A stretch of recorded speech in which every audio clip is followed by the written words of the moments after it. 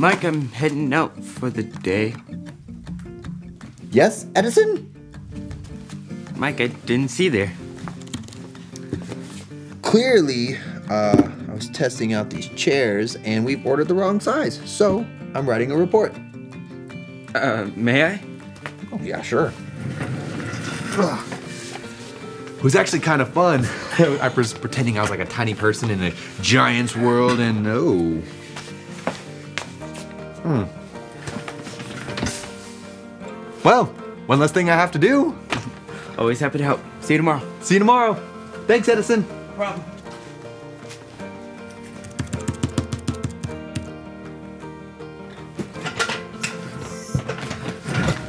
I am the tiny boss around here. We are Connect HQ. Every day we help the people of the world. Live God's way. We look for the links. Make the connection. And you never know what might happen.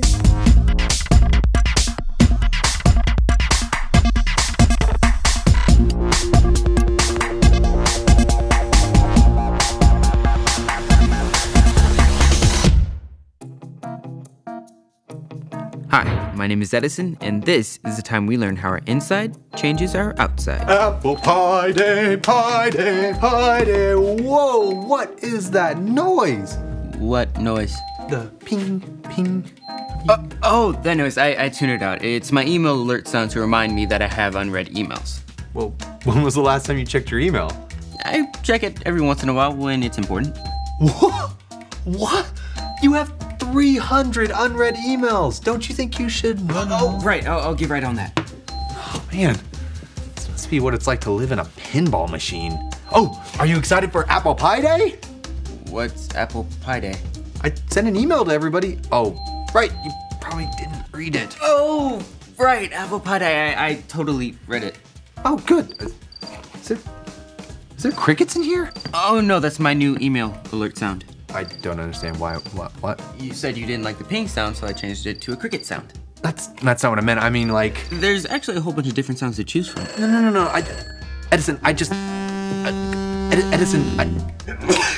Bless you.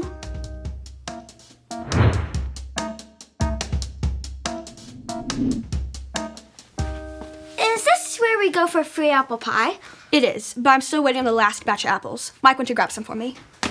Claire, you got my invite. Wouldn't miss it. You can drop those apples on the counter there. Oh, yeah, sure thing, Elaine. That's Chef Elaine. Right, Chef Elaine. I thought you were gonna bring a friend to Apple Pie Day. Nope, and I don't want to talk about it, so let's not talk about it ever again. Oh, It's going to be a while till there's any pie. y- yeah. Maybe you two should go somewhere less busy and talk about things. Oh, right. We should totally get out of Chef Elaine's hair. Claire, would you like to help me with something in the hub? Sure. Come on. Now, Claire, I know you didn't want to talk about this. Okay, if you must know, I really messed up with my friend Bailey. I thought I was the best friend, but I really made a mess of things this time. I'm not good at being good. What happened? I'm always nice to my friend Bailey when she's around, but whenever she's not around, I talk bad about her. Talk bad about your friend behind her back? Sometimes I thought it was okay because she didn't know, but she found out, and she called me a fake friend. I'm sorry, Claire. She's right. I was being a fake friend. That's the problem, Mike. I always try to be good, but sometimes I feel like a fake.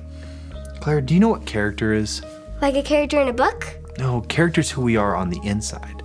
Our character shows through the things that we do and the things that we say. My teacher sometimes talks about that. She says our character is who we are when no one is watching or listening. Exactly.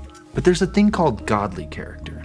That's what I want. I try really hard to be good, but I can't be good. The good news is the Holy Spirit can help shape who you are on the inside so that you act and say things in a godly way. Maybe this verse in the book of Galatians, chapter 5, verse 16 can help. Say it with me like this. Galatians 5:16. Galatians 5:16. Live by the Holy Spirit's power. Live by the Holy Spirit's power. So you will not do what your sinful nature wants you to do. So you will not do what your sinful nature wants you to do. Trying to be good or pretending to be good isn't going to work. It may look good on the outside, but you need to change what's on the inside. The Holy Spirit can lead you, teach you, and help you say no to the wrong choices you make. Godly character. Exactly. That gives me an idea, but I'll need Chef Elaine's help.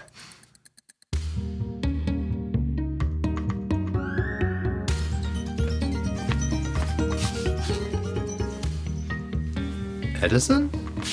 I got an email that my friend is having a pool party tonight. Yeah, I, I can see that. You're a little late, buddy.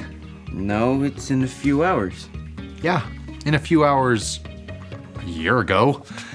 That invitation's from last year. Really? Yeah.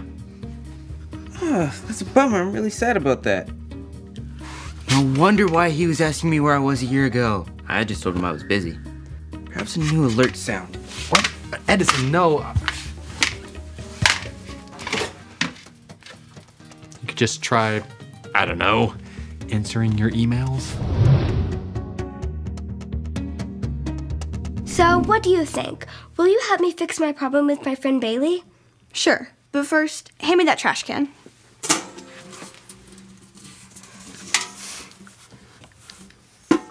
I'm new to cooking, but is this how you make apple pie? By throwing the apples in the trash can first? Can't make apple pie with bad apples. But they look fine. Sure, they look good on the outside, but on the inside, they're bruised and not very tasty. Feel this one. You can even see it coming through on the outside here. So it's like the apples are faking that they're good. You could say that. I just say they're rotten. Hmm. It's just like what Mike was telling me. Sometimes we pretend we're good on the outside, but it's fake. That's true. He said we need the Holy Spirit to lead us and change us. But Chef Elaine, there's something I don't get. What is it? How will we know when we have godly character? How will I know when the Holy Spirit is leading me? I don't want to be a bruised apple that only looks good on the outside. Well, it reminds me of a joke. Want to hear it? I love jokes. What's the Holy Spirit's favorite food? Um, I don't know. The fruit of the Spirit.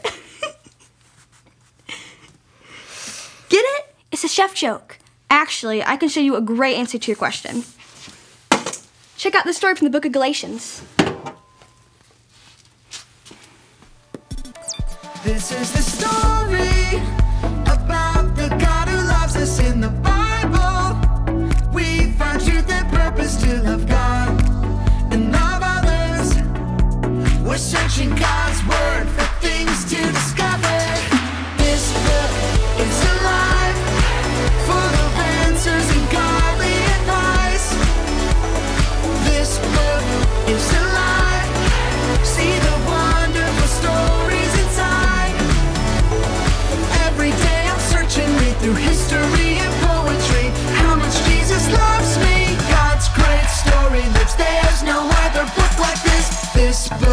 Is alive. What kind of tree is that? Wait, I know. It's an apple tree, How can you tell? because it's got apples on it. Apples are my favorite fruit. No, oranges. Wait, bananas. Bananas are definitely my favorite. My favorite fruit is love. Love? Love isn't a fruit. Sure, it is. Love is a fruit of the Spirit. Fruit of the what? The fruit of the Spirit. In the book of Galatians, Paul writes about love, joy, peace, patience, kindness, goodness, faithfulness, gentleness, and self control. When we walk with the Holy Spirit, that's the fruit we can expect to see in our lives. I'm not a tree. I don't have fruit. The fruit of the Spirit doesn't grow on trees, it grows in us because of what we are. An apple tree naturally makes apples, an orange tree naturally makes oranges, and a banana tree makes. Bananas! Right. And all who follow Jesus have God's Holy Spirit living inside them. So when they choose to let God's Holy Spirit guide them, what naturally comes out is. Love, joy, peace, patience, kindness, goodness, faithfulness, gentleness, and self control. Right, all the fruit of the Spirit. And just like you can tell an apple tree by its apples, the fruit of God's Holy Spirit lets others know that we belong to God. But without the power of God's Holy Spirit, Paul says a different fruit grows in us the fruit of our sinful nature. That does not sound good. It isn't. That fruit is selfishness, pride, anger, envy, disobedience, greed, fighting, and anything that keeps us from getting along with each other and loving others the way God does. That fruit always makes us want more stuff because we think stuff can make us happier than God can. That fruit leaves us empty instead of full. Ew, I don't want that fruit. I want love, joy, peace, patience, kindness, goodness, faithfulness, gentleness, and self control. But I get angry sometimes, and I'm not very patient. Guess I'll just have to try harder. Paul tells us trying harder won't get us anywhere. That's because our own strength only lasts a little while. But those who follow Jesus have declared that their sinful nature is dead. Now we can choose to live by the power of God's Holy Spirit instead. We can spend time with Him and pray and get to know Him, for real. And as we get to know God's Holy Spirit more, I know. The power of God's Holy Spirit will make more of the fruit of the Spirit grow in us. Like bananas! like bananas. So our actions, words, and choices are the fruit we grow. And the fruit we grow depends upon who we are on the inside. When the Holy Spirit makes you godly on the inside, you grow godly fruit. That's how we know the Holy Spirit is working. The outside matches the inside. That's godly character. Would you help me stir this pie dough? Sure. I just saw your email. Here's your cookbook. I sent you that email five months ago. I just read it. You can keep this copy. I bought another one while I was waiting for you. I'm sorry, I'm usually very punctual. Your inbox says otherwise. You know, the Holy Spirit can help you with that. What do you mean? If I don't deal with things from the inside, with the help from the Holy Spirit, my character won't be godly. I've learned. Don't fake it. Let God's Holy Spirit change you. Nicely said. Don't fake it. Let God's Holy Spirit change you. Now, if you don't mind, Edison, we've got pies to bake. Yeah.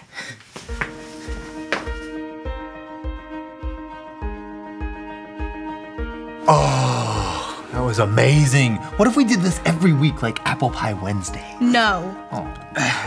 That pie was so good. Thank you. The fresh apples make all the difference. Um, so what's that last apple pie for? Did we miss one? No, Chef Elaine helped me make that pie for my friend Bailey. I wasn't a good friend to her, and I know one pie won't make everything better, but it's a start. I'm going to give it to her and stop pretending to be good. You can't fake being good. Don't fake it. Let God's Holy Spirit change you. Well, if, I don't know, for some reason she declines your friendship pie, I have a good place for it. Oh, I'll keep that in mind. Uh, see, now I check my emails in a timely manner. No more overstuffed inbox for me. Good job, Edison. Who's it from? Uh, the library. It says I've 22 overdue books? I should go take care of that.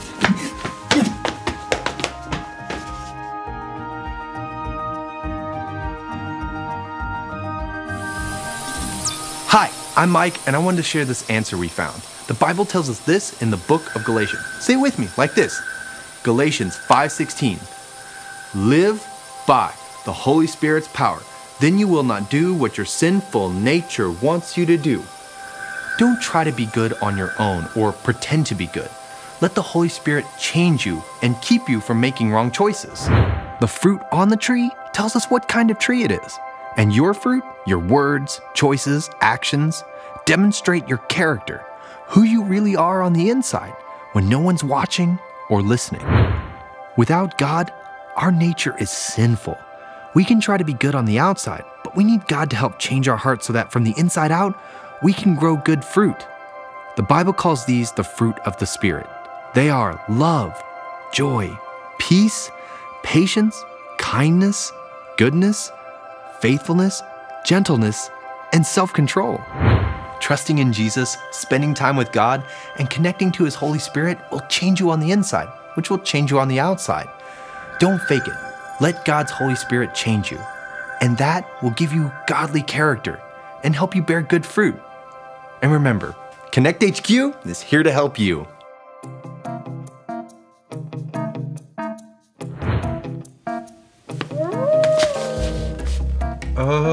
Edison? Hi, Mike. Oh, I was I was worried there. I thought, oh, your new alert sound is a little unusual. What new alert sound? My inbox is completely up to date. I don't get any more alerts. Then, what was? The... Run! It's gonna you first. It's gonna eat-